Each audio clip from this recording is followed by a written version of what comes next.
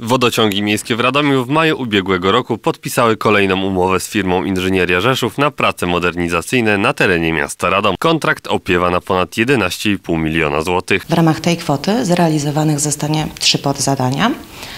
E, W ramach zadania pierwszego wybudujemy nową sieć e, sanitarną o długości 225 metrów oraz nową sieć kanalizacji deszczowej o długości 236 metrów w ciągu ulicy Przelotnej. Dodatkowo w ramach pierwszego zadania powstanie nowa sieć sanitarna o długości 719 metrów oraz nowa sieć deszczowa o długości 926 metrów w ciągu ulicy Odrodzenia. W ramach drugiego podzadania wybudujemy nową sieć sanitarną o długości 394 metrów oraz nową sieć deszczową o długości 240 metrów w ciągu ulicy Średniej. Trzecie zadanie realizowane w ramach tego projektu to budowa sieci sanitarnej oraz deszczowej wzdłuż ulicy Żurawiej i nowa sieć wodociągowa przy ulicy Górnej. W przypadku tej ostatniej powstanie również dodatkowa sieć sanitarna. Wykonawcą robót będzie Inżynieria Rzeszów, która na realizację tych zadań ma 18 miesięcy. Tym samym inwestycja ta zostanie zakończona wraz z końcem listopada bieżącego roku.